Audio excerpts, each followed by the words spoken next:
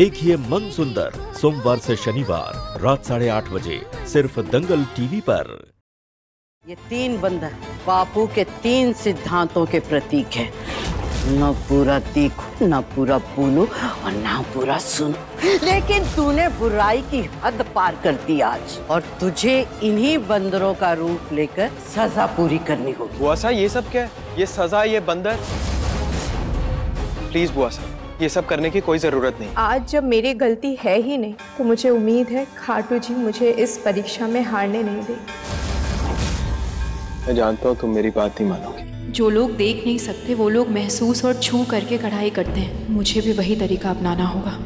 इन छेदों को छू कर तो ऐसा लग रहा है कि मैंने दफ्ती पर स्वास्तिक बना दिया है। अब इसकी मदद से कपड़े पर भी बनाना है। हंड्रेड परसेंट ना सही लेकिन इसने बिना देखे बनाया तो इसीलिए परफेक्ट है। रुचिता मुझे पता था तुम ये परीक्षा जीत ही जाओगे।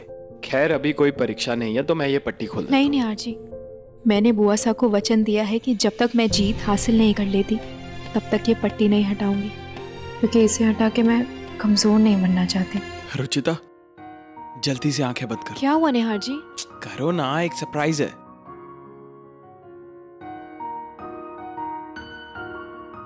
अब खोलो।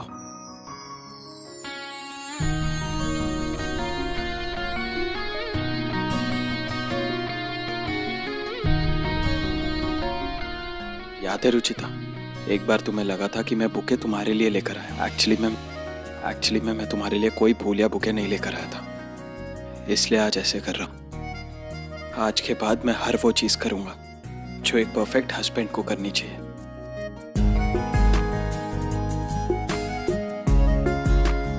थैंक यू क्या हुआ रुचिता?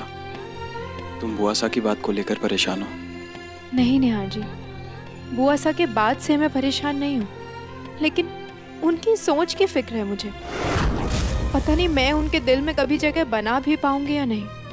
रुचिता जिस तरह तुमने मेरा दिल जीता है ना उसी तरह तुम उनका भी दिल जीत लोगी। और अगर नहीं जीत पाई तो?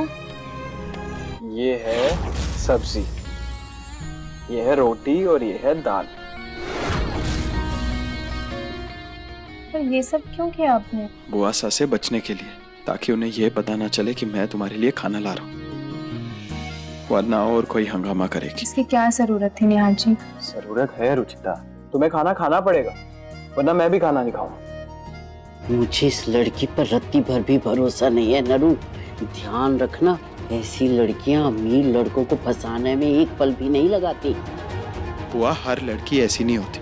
और आप प्लीज़ रुचिता पर बार बार शक करना बंद कीजिए। रुचिता तुम बर्तन क्यों धो रही हो? जीतू धो देगा ना।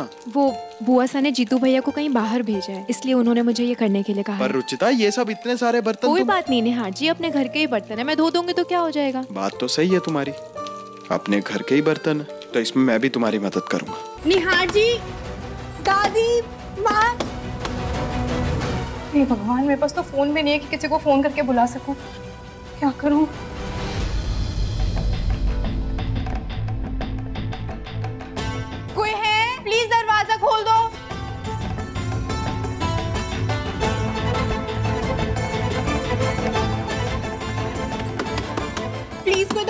खोल दो। इतना क्या सोच रहा है चुटकू? वो नौकरानी तेरी बुआ सा से बढ़कर है क्या तुझे? क्या बेहूदगी है छुटकू एक नौकरानी को गले लगा रहा है तू। यही बुआ साहब मैं तो इसे शांत कर रहा था। बेचारी अंदर बंद रह के घबरा गई थी ना इसीलिए। उससे ज़्यादा तो तू परेशान लग रहा है। जैसे तू अंदर फंस गया हो। आपको मुझ पर जितना नाराज़ होना है हो लीजिए। अपना सारा गुस्सा मुझ पर निकाल लीजिए पर इस तरह अमिया मत फेंकिए। एक जरा सी मेहनत तेरी क्या बेकार हो गई?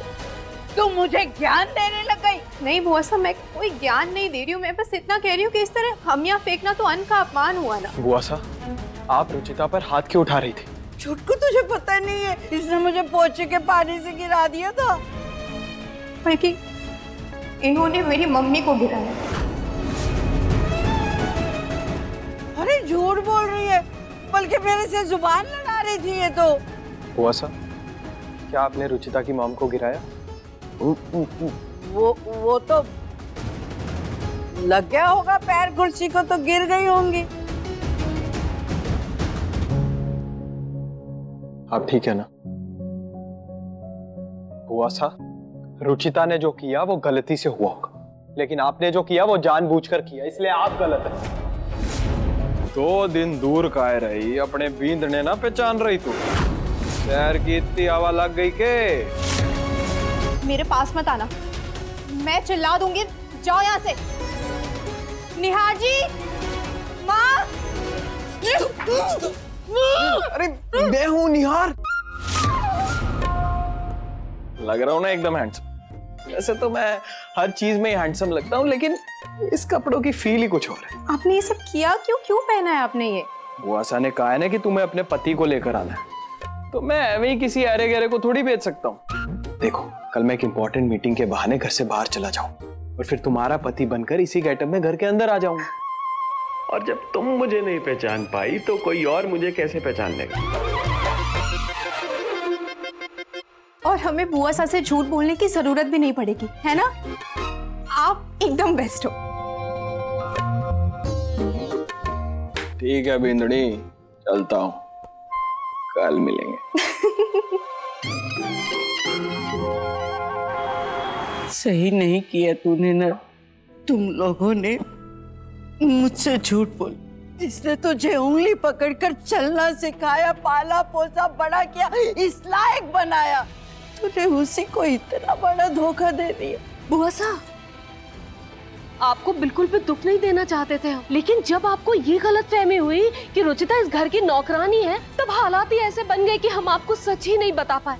और अब देखिए ना बात कहाँ से कहाँ पहुँच गए माफ़ कर दीजिए।